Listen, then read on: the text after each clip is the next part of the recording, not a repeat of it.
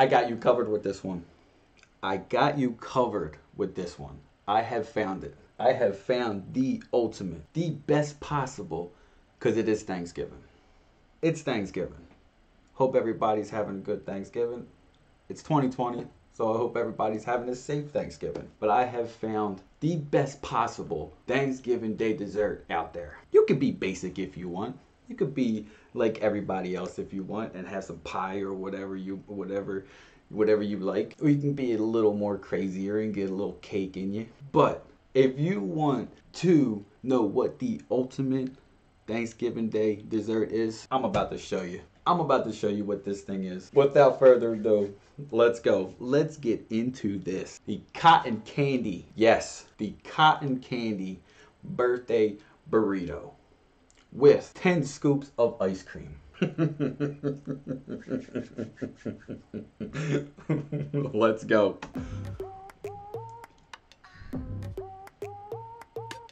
Follow along with the ingredients. Follow along with the ingredients. As I previously stated, it is filled with 10 scoops of ice cream. Look at all the colors in this thing. It just looks so, it look, it just looks good. Let's go.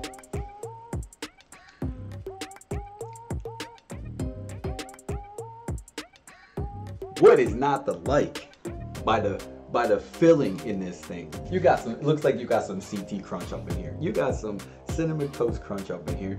Looks like you got some fruity pebbles up in here too. Let's see what else they got up in here. Let's go.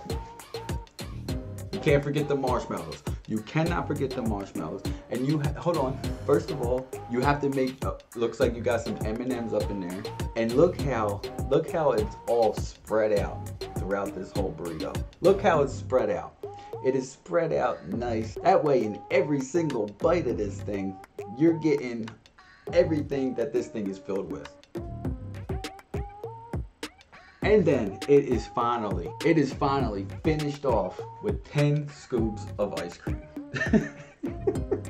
10 scoops of ice cream. Not to mention all the cereal that is in this thing, all the chocolate that is in this thing, all the marshmallows that is in this thing. Let's check out the finishing product, shall we? Let's check this thing out. It is folded like a burrito, nicely done. Very colorful.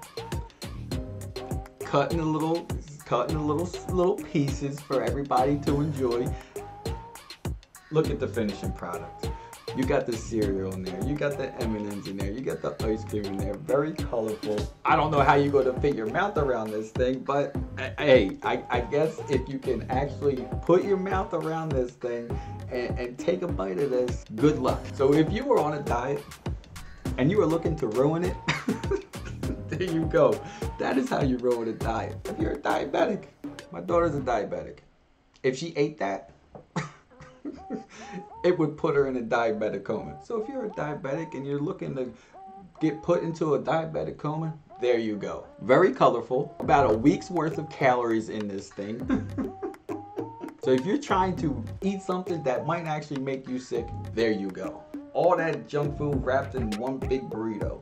You could share it if you want, or you could just